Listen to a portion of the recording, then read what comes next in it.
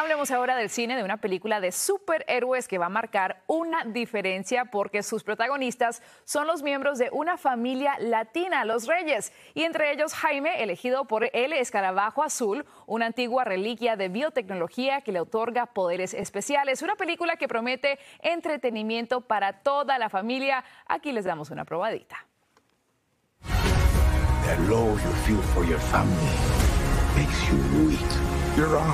My family, that's what makes me strong. Sorry, my mom. Jaime?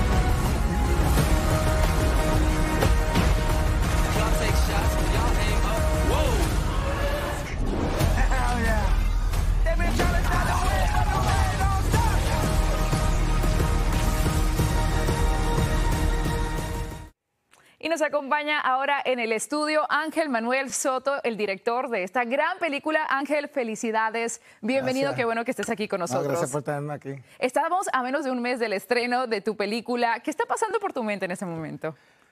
Pues estoy de todo muy emocionado. Este, años trabajando haciendo cine y, llegar a un nivel de poder representar un superhéroe que, que cumple con todas esas expectativas, pero que también nos representa. Claro. no solamente el superhéroe Jaime Reyes, por, interpretado por Cholo Maridueña, no solamente él es latino, sino que toda su familia es latina. Y es tu primera vez trabajando con DC Comics. ¿Cómo fue recibir esa llamada de empezar este proyecto? Pues mira, esto ocurrió, ocurrió durante la pandemia.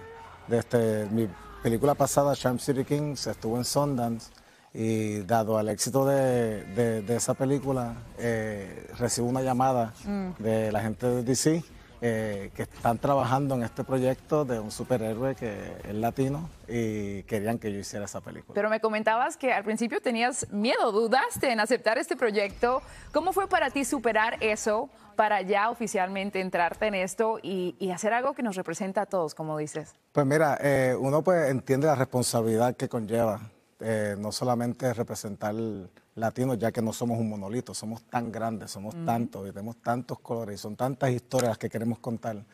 Y también trabajándolo dentro del contexto de Hollywood y la manera en que nos han representado, pues sí, tenía esa, ese peso de la, responsabilidad, de la responsabilidad. Y también eh, esa inquietud de estar seguros de que el estudio estaba a la disposición de que los latinos, tanto el escritor, eh, Gareth Dunet Alcocer, que es de Querétaro, México, como yo, eh, pudiéramos contar nuestras historias sin que tuvieran un filtro anglosajón. Al igual también que la gran parte de este elenco que es hispano, ¿cómo fue para ti eh, trabajar con Cholo Maridueña? Pues mira, Cholo yo lo había conocido anteriormente y conocí a un muchacho súper carismático, humilde, con un corazón muy genuino y con una familia que siempre estaba con él. Y cuando se me hizo acercamiento de hacer Blue Beetle, que me puse a, hacer un deep dive nuevamente en los cómics, y no pude parar de ver que no solamente se parecían físicamente, sino que las características del personaje eran bien parecidas a como Cholo es en vida real. So, él para mí fue un fit perfecto para representar a Blue Beetle y casualmente él, uno de los sueños que él tenía era que si algún día se daba la oportunidad de hacer una película como Blue Beetle, que él fuera quien interpretara a Jaime Reyes. Increíble, así que es un sueño cumplido para muchos de ustedes. Correcto. También me estabas comentando que rodaron la película en Puerto Rico, ¿verdad? Sí, sí, sí, sí. Tuvimos la suerte de poder explorar esta nueva ciudad, porque originalmente el personaje es de El Paso, Texas. Y cuando yo entré al proyecto ya estaban los cómics desarrollando lo que es la ciudad de Palmera City. Mm. Y dado a, como DC brega con sus superhéroes, eh, tienes a Batman con Ciudad Gótica, tienes a Superman con Metrópolis.